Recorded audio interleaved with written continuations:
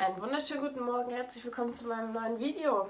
Wir werden heute nochmal einen Vlog drehen und ähm, ich habe diesmal nicht direkt im Bett angefangen. Ich bin zwar auch noch nicht komplett irgendwie so fertig gemacht und so, aber erst am Aufstehen und ähm, ja, Karl soweit anziehen und alles. Heute ist Donnerstag, ich muss heute nicht arbeiten und ähm, wir haben heute also nochmal einen relativ entspannten Tag. Frühstück jetzt, dann schminke ich mich noch meine Haare und dann sehen wir mal weiter, was wir heute so anstellen. Ich habe auch E-Mails bekommen, ich muss vielleicht ein Paket noch wo abholen. Für Karl habe ich jetzt so Obst gemacht, hier ist noch ein Stück Muffin. Für mich habe ich auch nochmal dasselbe Obst ohne Tomate jetzt. Ich habe einen Kaffee, es gibt äh, Toastbrot mit sehr kreativem Belag. Der Mann gemacht. Was denn für ein Mann? Der Mann Butter Mami Auto. Ja, ja, wir waren gestern in der Waschanlage. Da äh, war so mit manueller Vorwäsche oder wie man das nennt, also dass da jemand, so ein Mensch, das Auto erstmal vorgewaschen hat. Der hat dann in den Schaum an Karls Fensterscheibe so ein Smiley gemacht, hat der Karl sich riesig gefreut, das war total süß. Ähm, und hat die ganze Zeit davon erzählt. Das war nämlich auch noch so ein Highlight. Wir waren letzte Woche Auto waschen, also nicht mein Auto, weil dann müsste es ja jetzt nicht wieder gewaschen werden, aber wir waren halt letzte Woche Auto waschen mit Karl. Und das fand er super. Und ähm, dann hat er, er nochmal danach gefragt. Und dann dachte ich mir so, ja, eigentlich will ich mein Auto die ganze Zeit schon waschen. Es macht zwar irgendwie nicht so viel Sinn, wenn das jetzt, also wenn ich jetzt die ganze Zeit wieder im Dreck rumfahre, aber es ist doch immer so. Also im Endeffekt, das Auto wird doch immer dreckig, wenn man rumfährt. Also von daher kann ich es auch jetzt mal waschen. Da sind wir gestern waschen gefahren. Was auch eine schöne Unterhaltung für Karl war. Und ähm, Genau. Ihr seht immer meine To-Do-Liste. Ähm, ich habe mir die jetzt mal in analog aufgeschrieben, weil ich da viel mehr drauf gucke, als wenn ich die in meiner Notiz-App öffnen muss. Und ich habe so Sachen auch wie rausgehen draufgeschrieben, einfach nicht, weil ich es jetzt vergessen würde, sondern einfach, damit ich so einen Überblick habe, wann ich was so eintakte, sage ich mal, äh, heute. Und ähm, Vormittag. Das ist ein Drucker. Äh, Vormittag ist ja eh eher so für Haushalt und so gedacht und deswegen werde ich damit jetzt auch erstmal anfangen. Es gibt eine Menge zu tun. Morgen ist Freitag, dann kommt das Wochenende und vor dem Wochenende will ich immer die Wohnung aufgeräumt und sauber und alles haben. Also komplett so, dass ich am Wochenende halt nicht unbedingt sonst wie viel im Haushalt machen muss. wir machen uns jetzt Musik an und ich werde jetzt Wäsche falten. Juhu! Ja, aber Wäsche macht mir eigentlich voll viel Spaß. Also ich wasche voll gerne. Ich äh, ja, sortiere voll gerne Wäsche. Das Einzige, was ich nicht mag, ist dann die saubere Wäsche in den Schrank räumen. Aber das dauert halt immer ungefähr nur ganz kurz, deswegen halte ich das auch aus. Ja, was soll ich sagen? Ich zeige euch jetzt mal, wie weit ich mit meiner To-Do-Liste bin. Ich war immer noch nicht im Bad, ey. Und zwar, okay, ist das jetzt Seitenverkehr? Ich glaube schon. Ähm, ich drücke mich vor dem Kinderzimmer, weil der Punkt ist, dass Karl aktuell kein Spielzeugregal hat. Wir haben so vier solche Kallax-Einsatz-Dinger-Körbe, diese Stoffdings, wenn ich noch wüsste, wie die heißen. Im Sommer war mein, äh, meine Kenntnisse über die Namen der Ikea-Produkte noch wesentlich besser. Ähm, mittlerweile habe ich alles wieder vergessen. Ähm, aber es gibt genug Leute, die sich darüber lustig machen, dass ich äh, weiß, wie die ganzen Ikea-Möbel heißen. Ähm, Falls sich da jemand gerade angesprochen fühlt, äh, dann gehen jetzt hier mit Größe raus. Jedenfalls ähm, haben wir vier solche Kisten. Wir brauchen aber eigentlich acht. Und ähm, das äh, 2x4 Kallax-Regal will ich holen. In Leipzig ist Click und Collect, oder wie das heißt, äh, erlaubt, trotz Corona, aber das Regal ist nicht verfügbar. In Dresden und Chemnitz, wo das Regal verfügbar ist, ist Click und Collect nicht erlaubt. Mm, ich überlege jetzt, ich gucke noch mal. Ich weiß nicht, ob das Sinn macht. Wir brauchen eigentlich noch einiges anderes von Ikea und wenn äh, und wenn du räumst um? Ja. Wo denn? Da. In meinem Bett? Ja. Ja. Und wenn alles, was wir brauchen, zum Beispiel in Magdeburg verfügbar wäre und Click und Collect in Magdeburg erlaubt es und wir zeitnah da, ich weiß ja nicht, wie das ist mit dieser, ich sag mal, Terminvergabe bezüglich Abholen, wenn das auch ginge, dann äh, wäre mir das ein Anliegen, das zeitnah alles irgendwie zu holen.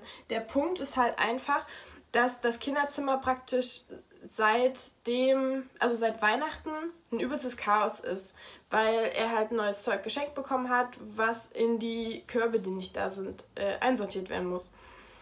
Deswegen drücke ich mich da gerade die ganze Zeit schon davor. Ich habe immer alles so ein bisschen provisorisch aufgeräumt, diese vier Körbe mit allem einfach unsortiert vollgestopft, um dann halt immer den Boden frei zu haben. Wow. Äh, um dann Staubsaugen zu können. Das wird jetzt wahrscheinlich auch wieder so werden. Ich bin mir da noch so unsicher. Mich nervt das total, dass. Äh, wow. Dass ich genau jetzt auf die Idee komme, überall nochmal alles umzuräumen, wenn Ikea zu hat. Okay, der Karl ist gerade sehr äh, auch am Umräumen hat, also beziehungsweise umdekorieren.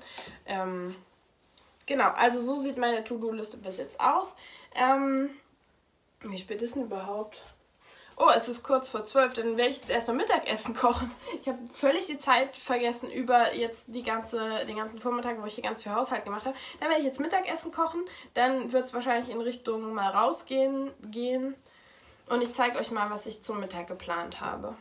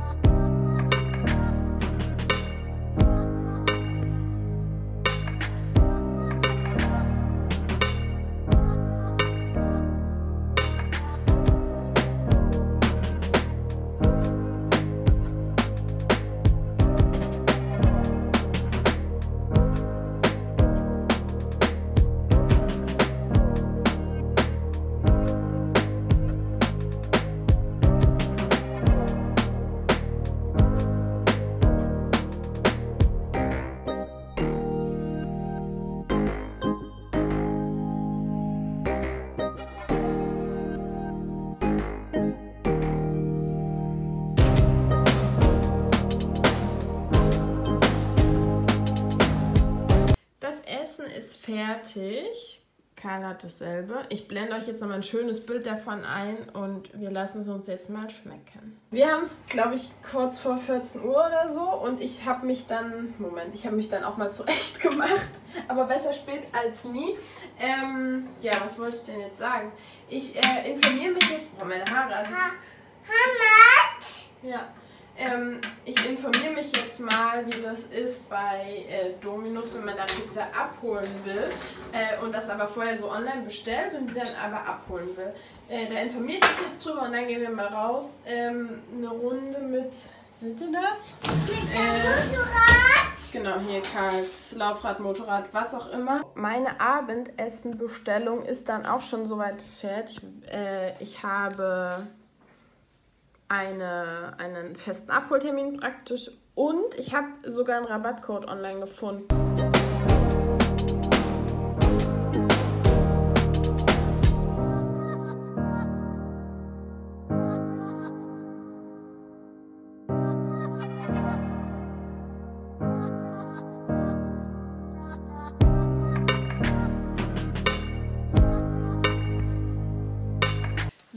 Wir waren gerade 50 Minuten draußen. Das klingt jetzt, jetzt nicht besonders viel oder nicht besonders wenig, aber wenn ihr wüsstet, was für eine Strecke wir zurückgelegt haben, wir sind einmal um den Block gegangen.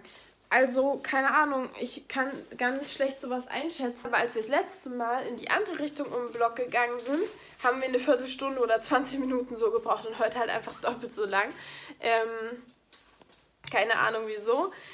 Jedenfalls äh, hat Kai jetzt einen Brief noch im Briefkasten gefunden, also für sich von meinen Eltern, also praktisch von Oma und Opa, ja. Und jetzt habe ich gar keine Peilung, wie spät es ist. ähm, na warte, zeig den mal so. So. Achso. Äh, das ist der Brief. Anu, wer summt denn da? Pete entdeckt ein paar. Hä? Wer denn? Sie trinken aus dem Bach. Dann fliegen sie in ihr Nest und spucken das Wasser wieder aus. Wespen bauen ihr Nest aus selbstgemachtem Papier. Im Apfel wohnt eine kleine Raupe. Dort ist sie. Sie will genug zu fressen. Mäuse haben Angst vor Katzen. Katzen. Mhm. Ähm, die im Boden. Wow. Die im Boden. Die im Boden. Siehst du die kleinen Mäusebabys? Ja. Da. Die sind süß, oder? Ja. Weißt du, wo wir hinfahren? Pizza abholen. Freust du dich darauf? Ja. Was haben wir denn da? Wir haben gerade Pizza abgeholt. Auf jeden Fall gerade Pizza abgeholt.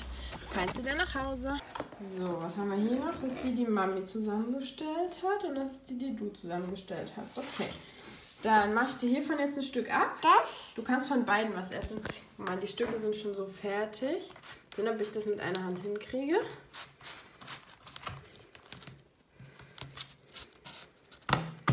So, bitteschön. Guten Appetit. Machen die wieder zu, damit sie nicht äh, friert, okay? Mit Käse. Der Käse, das ist das geschmolzen. Da siehst du das? Das Gelbe. Und an der Stelle möchte ich das Video beenden. Ähm, Karl hat gleich aufgegessen. Ich habe schon aufgegessen. Ich bin unfassbar satt, aber wirklich sowas von satt. Ähm, ich hoffe, euch hat der kleine Einblick in unseren ja nach wie vor entspannten Lockdown-Alltag äh, gefallen. Ich würde mich natürlich sehr freuen, wenn wir uns im nächsten Video wiedersehen. Oh, der Karl wollte auch nochmal Tschüss sagen.